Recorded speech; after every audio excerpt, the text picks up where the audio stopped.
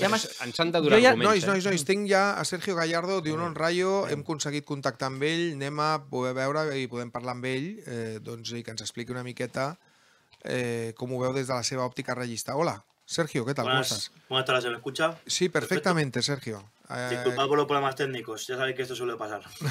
no pasa nada, no te preocupes. Oye, eh, estoy leyendo aquí alineaciones probables, Dimitierski, Balliu, Catena, Leyen, Fran García, Pate Cisco, Mesaña, Isi, Trejo, Álvaro García y de Tomás. Eh, tenéis un buen equipo, ¿eh? ya se está viendo. No es casualidad donde está el rayo, está claro. Creo que el mérito es total, eh, sobre todo un equipo que hace dos años estaba prácticamente eh, luchando por descender, ahora estamos con el show europeo. Es una temporada, bueno, de altibajos también, como por ejemplo están pasando a otros equipos y demás. Tiene un equipazo el Rayo, pero bueno, eh, ya veremos la temporada que viene qué pasa, a ver si seguirá ola. Esto no se sabe nada hasta que, hasta acabe la temporada. Ya. Yo Iraola me han dicho que, que no va a seguir. Esto me han dicho yo, un representante que estuve hablando el otro día con él, me dijo que, que no. Pero bueno, veremos qué pasa. Oye, eh, de todas maneras, mm, sueño europeo, me decías ahora, eh, Sergio. Eh, mm, os vamos a pillar un poquito, no con el sueño, sino con ganas de acabar la liga o, o el equipo está súper activo y con muchísimas ganas de lograrlo ante su gente. ¿Cómo lo ves? Yo veo al Rayo concentrado.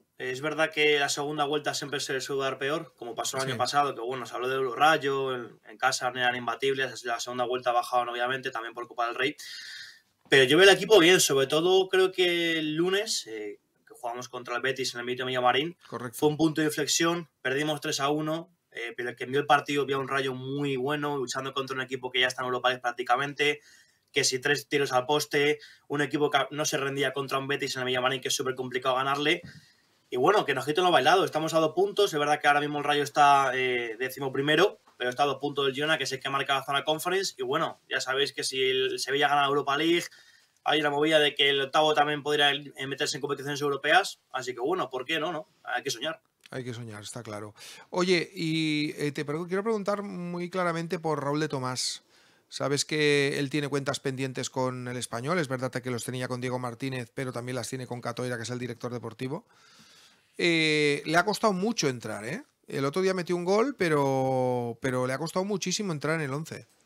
Sí, lógico. Yo creo que más allá de la movida con el español que tuvo, más allá de que no tuvo pretemporada, bien porque estuvo lesionado, se supone, como ya lo comentábamos en el mes de agosto-septiembre, bien porque no le apetecía entrenar con los compañeros, se quería, digamos, irse haciendo la cama de una manera. Luego también yo creo que anímicamente el tema de no jugar el Mundial, cuando al fin y al cabo, a finales de, de junio y de mayo, era el delantero de la selección, Sí. para mí, creo que para muchos aquí también. Y también el tema de no entrar en dinámica, de no poder jugar hasta enero por un tema de trámites. Yo creo que mentalmente le ha afectado muchísimo eh, y yo creo que es que además ha tenido una competencia muy complicada. Para mí la sorpresa del Rayo no es que Raúl Tomás esté mal, es que Camello, eh, jugador cedido por el Atlético de Madrid, está haciendo una temporada espectacular. Eh, o sea, el joven, joven del equipo colchonero me ha sorprendido muchísimo, eh, lleva muchos goles. Y Raúl Tomás, fíjate, yo primero, de hecho luego subí otro día un vídeo a mis redes sociales diciendo que esperaba que metiese 10 goles, Raúl Tomás, pero es un delantero que está apagado, que, que no, no se le ve con, con soltura, no se le ve con garra, pero bueno, yo creo que todos somos eh, conscientes de, de que es un gran delantero y puede hacer un gran papel este domingo. Está claro. Eh, de todas maneras, está más activado a nivel, por ejemplo, aquí en el español metió muchísimos goles, pero siempre se le tiraba eh, en cara que trabajaba poco. Yo no sé cómo está eh, encajando precisamente en un esquema como el de Iraola que pide tanto sacrificio y tanta solidaridad. ¿Cómo lo está haciendo en ese aspecto? Creo que eso es uno de los principales aspectos por los que no está jugando mucho. Yo creo que al fin al cabo Raúl Tomás pasa a ser la estrella, eh, siempre ha sido la estrella en los equipos que ha estado prácticamente, excepto bueno, en el Madrid obviamente que, que es muy complicado, incluso en el Benfica, pero Iraola le pide cosas distintas, le pide que trabaje y es un jugador que por ejemplo a diferencia de Camello trabaja mucho menos en la presión, no baja tanto digamos al tema de sacrificio, es un delantero que al fin y al cabo yo creo que mm, en la ocasión le falta actitud, eh, pierde un balón y se queda muchas veces muy pasivo. Y creo que Camello y también Falcao, que también está jugando eh, más o menos a la par que Raúl y Tomás, tiene esa actitud, esa chispa que le falta al, al- al delantero de, que juega en español. Ya. Muy bien. Oye, ¿y, cómo se ve al español desde allí? Desde, desde Vallecas. ¿Cómo se ve a un español que está mirando hacia abajo y que es candidato al descenso? ¿Cómo se ve? Para mí es una de las sorpresas de la temporada, sorpresas negativas. Eh, yo creo que es un equipo que tiene una plantilla competitiva, es verdad que le, le costó arrancar, pero de verdad yo me atrevo a decir que es un equipo que podría estar donde está el Rayo perfectamente, luchando por esa media tabla zona alta, por incluso meterse en Europa, incluso darnos al Irón. Pero yo creo que ha sido complicado el tema, por ejemplo, del tema directivo, la salida de, Diego Martínez, que en términos de fichajes yo dije, se va Raúl Tomás, pero está José Lu, que creo que está tirando incluso demasiado el carro y demás. Y creo que no están enseñando las cosas. Eh, luego, por ejemplo, el fin de semana pasa contra el Fútbol Club Barcelona. La imagen es verdad que luego el 2-4 maquilla un poco el resultado, pero creo que fue negativa. Yo vi el partido y la verdad que fue una sensación complicada.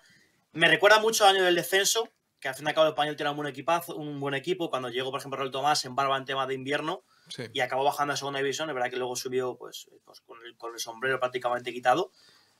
Y a mí me sorprende mucho. Eh, está a cuatro puntos, si no recuerdo más, del descenso. Quedan cuatro jornadas y este fin de semana en Vallecas es que se juega media salvación. Contra un rayo que encima no lo va a poner fácil y se está jugando entrar en Europa, que para un equipo tan pequeño es muy importante. Muy bien. ¿Voleu comentar alguna cosa, nois? Eh, sí, eh, bueno, yo, eh, a ver, yo quería preguntar ya de cara al partido, ¿no? ¿Qué es, qué, ¿Cuál es el punto fuerte en casa del Rayo?